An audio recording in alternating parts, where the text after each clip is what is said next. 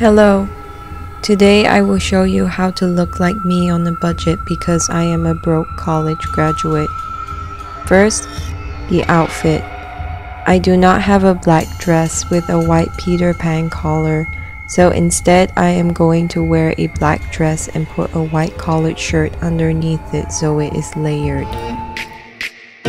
It would look strange but there are two ways to make it blended in, which are unbuttoning a button or spreading the collar. Second, the hair. My hair is too short to make braided nooses and wigs are expensive but it can be done. Just take one section of hair, divide it into threes, and intertwine the hairs together. Third, the makeup.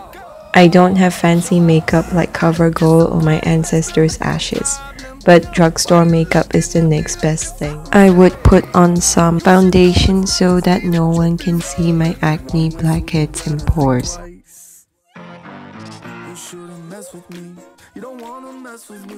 Then put on some black eyeshadow, sweeping it over the eyelids. Make it look as black as your soul. After that, put some liquid eyeliner. Don't wing it. Also, mascara to make your eyelashes pop just a bit, and eyebrow pencil to make you look mad. The whole function of wearing makeup is to intimidate your enemies so you do not have to resort to doing other things to keep them in check. Finally, some lipstick to finish it off. My favorite color is red because it is the color of blood. I hope you loved this tutorial.